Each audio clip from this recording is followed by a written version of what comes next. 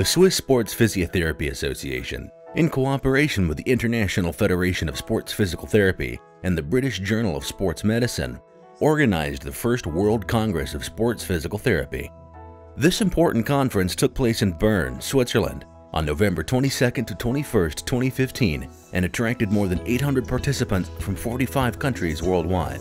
What's exciting about this conference is we're bringing together people who have solutions because they work in elite teams or they work in the best research settings.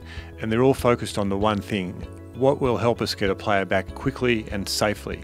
We haven't had that before. This is a first time event. The theme of the conference was Return to Play, and it had a stellar lineup of internationally renowned speakers who delivered an impressive update of the scientific and empirical knowledge in this field. RTP decision making is one of the most crucial aspects in sports medicine and physical therapy, and yet one of the most complex ones. Some key areas addressed at the conference were performance-based tests, patient-reported outcomes, load management and overuse problems, mental aspects, and more. I think what's really new in the area of ACL, return to play after ACL injury, is this consideration of the mental aspect of returning to play. So, historically, we've really focused on the physical function and measuring physical uh, function, and that's of course very important. But we also equally need to consider the athlete's mental state and their mental readiness to return to play. So, my message is really that when we're thinking about returning to play after ACL injury, the mind really does matter. Some high profile sports PTs and researchers involved with top athletes performing at the highest level of competition shared their expertise with colleagues and the interested audience. So in professional sport, we really are at that pinch point where evidence-based medicine meets practice-based evidence, and it's our job to implement the evidence that the researchers are coming out with and find ways to apply it in our context, which deals with the pressures that we face, and to get the optimal outcomes for our athletes. Participants and speakers experienced an intense two days conference at the Bern Expo in Bern the capital of Switzerland, traditionally the venue of the Swiss Sports PT Congress. So it's been an honor to be invited to the conference, and the conference has been absolutely amazing. With the speakers being from all over the world, we're all trying to do the same thing. So as a speaker, it's been amazing to see what I'm doing in relation to them and understand where we're all moving forward.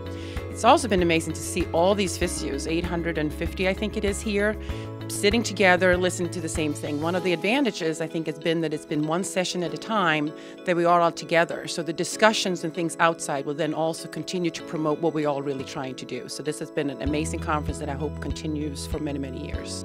The conference also hosted an international poster competition, and the award winner, Ms. Arnlaug Wangensteen, presented on stage her groundbreaking research on the role of MRI versus clinical examination in RTP after hamstring injuries. As the president of the Sports Physical Therapy Association in the United States, this conference has been uh, one of the best that I've ever been participated in and that I've been uh, honored to uh, speak at. The RTP conference also represented a milestone in the history of the International Federation of Sports Physical Therapy, which was founded in 2002 and today includes more than 25,000 sports PTs from 24 countries worldwide. The first World Congress of Sports Physical Therapy has really raised the bar, and I think IFSPT now has to work with the discussions and the findings from this conference to take the profession further to see what we can do in terms of safe return to play for our athletes.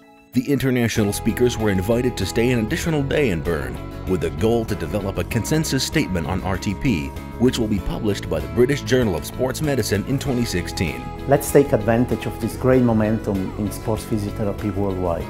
With the upcoming Return to Play conference in London 2016 and related workshop, um, the planned BJSM consensus paper, and of course to the second World Conference of Sports Physiotherapy in Belfast, October 2017. Please follow the updates on these conferences on Twitter. BJSM at BJSM underscore BMJ and Sports Physio at Sports Physio Swiss.